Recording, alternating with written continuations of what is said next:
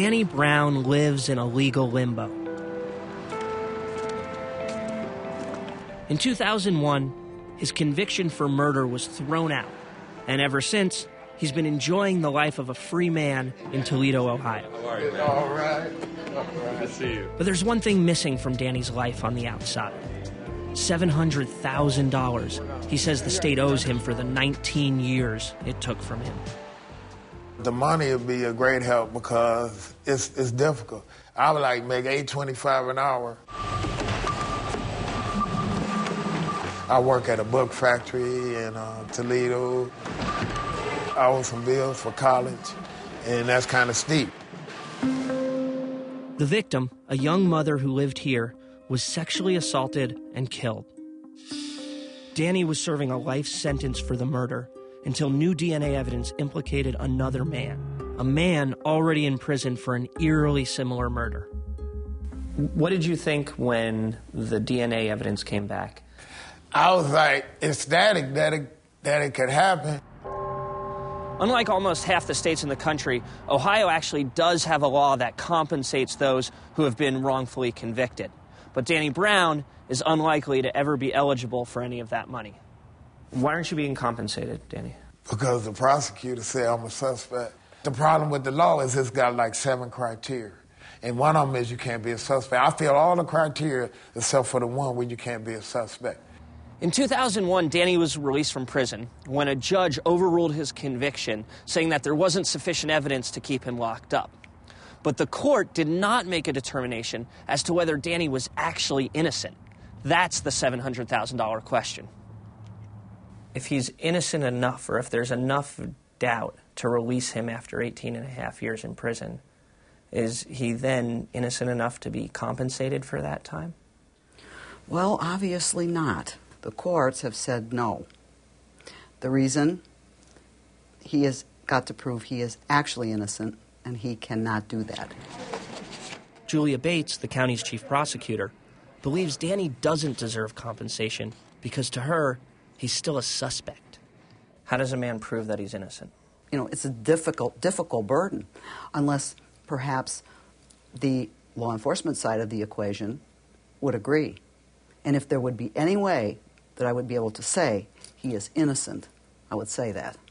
But Bates insists she can't say that. Well, one of the main reasons is the fact that there still lives and breathes a person who was a six year old boy at the time of this crime who still maintains with every breath in his body that this is the man that killed his mother. And it's very difficult to ignore that. Eyewitness identification is a leading cause of wrongful conviction. Michelle Berry represents Danny Brown.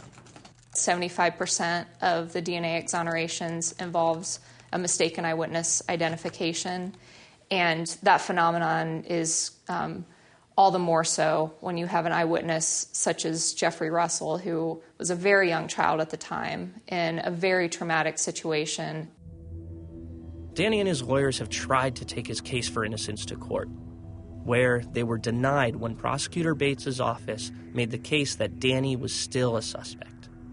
If Danny is still considered a suspect, then you know let's let's move on this case one way or the, or the, or the other. You know, let's have a, a retrial. Why not retry Danny Brown today?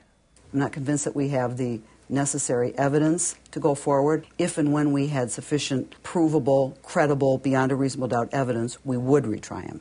And if we never find good, provable, beyond a reasonable doubt evidence, then we won't ever retry him. He'll remain free, he'll remain out, but of course he won't recover money. It's an open case, it's a pending investigation. An investigation that's been pending for more than 10 years. When do you say, you know what, maybe this guy didn't do this? When do you take a serious look and say, you know what, let's look at this a little closer, let's do the right thing? I, I guess it grates on your, your notion of fairness that somebody has to live in this legal limbo. Is this a, a failure point of the system? Well, I don't know. I can't. It's very difficult to answer. This is about recovering money. This isn't about your freedom. He got his freedom. We didn't fight that. We didn't fight that. We embraced that. When it's about money, there are certain rules, and the rules in Ohio say you have to be innocent, you have to prove you're innocent, and you can never be prosecuted, or you don't get any money. If that's not fair, they should change the rules. In the meantime, I mean, this might sound trite, but Danny is free. He's free to, to breathe the air and, you know, walk the street and feel the sun, and he's not in a cell. In a sense, Danny is still a prisoner to this crime. And though he's not imprisoned, he's in the prison of, of that suspicion. After 19 years behind bars, Danny waits. Not guilty, not innocent, and without any compensation. And perhaps without something even more important.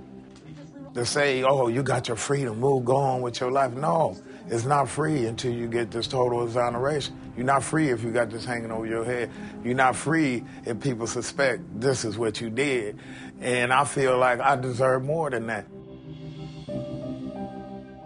According to the Innocence Project, Danny Brown is among 40% of those wrongly convicted across the nation who haven't received compensation for their time behind bars. And back in Washington state, so is Alan Northrop. Just weeks after we interviewed him, the Washington state legislature, facing a huge budget deficit, killed the bill that would have given him money for the 17 years he spent innocent behind bars.